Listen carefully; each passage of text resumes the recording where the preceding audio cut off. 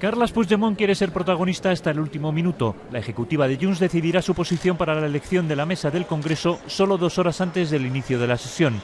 Puigdemont juega con ese suspense y en un tuit dice que crece el nerviosismo y sube la subasta a medida que se acerca el día 17. Subasta, bueno, creo que, creo que puede ser más oportuno ¿no? el, el diálogo y la prudencia que hablar de subastas de ningún tipo. Pedro Sánchez asiste desde la distancia a estas negociaciones y apura en Lanzarote sus últimos días de vacaciones. El miércoles comunicará a sus diputados el nombre del candidato socialista a presidir el Congreso.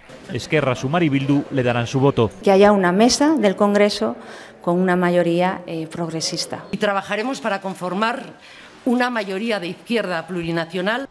Al otro lado, el Partido Popular dice tener también sus propios planes para tratar de hacerse con la presidencia del Congreso e insisten en una posterior investidura de Núñez Feijó. Lo que sería una alternativa al gobierno en solitario de Feijó sería un Frankenstein multiplicado por, lo, por dos, absolutamente ingobernable. En 72 horas se resuelve el primer misterio, ¿quién presidirá el Congreso? dirigidas al gobierno